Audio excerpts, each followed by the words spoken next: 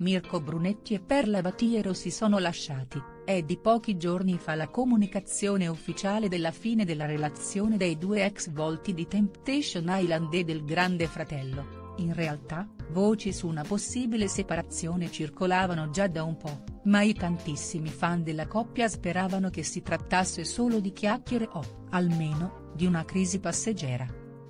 Mirko e Perla ai titoli di coda, la notizia ha avuto l'effetto di una bomba sull'esercito dei Perletti. Dopo l'annuncio, sui social è scoppiato un vero e proprio psicodramma. La maggioranza dei fan ci è rimasta malissimo. C'è chi scrive messaggi disperati e chi spera in un ripensamento. Addirittura si parla di persone finite in ospedale, perché non avrebbero retto allo shock. Gente in ospedale, malori e svenimenti, Perla e Mirko, shock dopo l'annuncio del loro addio.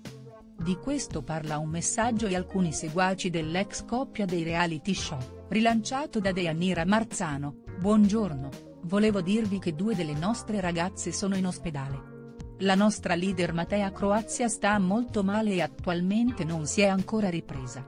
Vanessa si è ripresa oggi, l'ho sentita personalmente e sta meglio, ma è distrutta. Sono state male a causa della rottura. Senza rendersene conto, sono svenute e sono rimaste tutta la notte in ospedale. Vi rendete conto che questi ragazzi sono veri, umili e non è giusto che il loro amore debba finire. Non può essere distrutto così. Sui social si trovano altri messaggi con toni simili.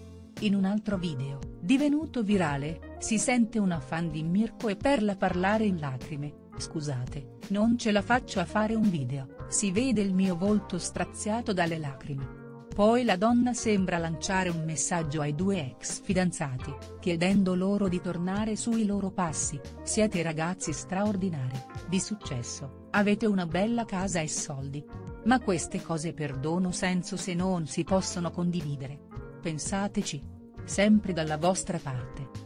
Tutte queste reazioni hanno sorpreso gli altri utenti del web, increduli da quello che si vede e legge in giro, siamo alla follia più totale. E un altro dice. Io non commento mai questa coppia e i loro fan, ma in questi giorni sto vedendo cose assurde, gente che piange, che si dispera, che si sente male, che va in ospedale, è folle e preoccupante tutto ciò. Ma nelle loro vite non hanno nulla di più importante di questo due? Mi preoccupano.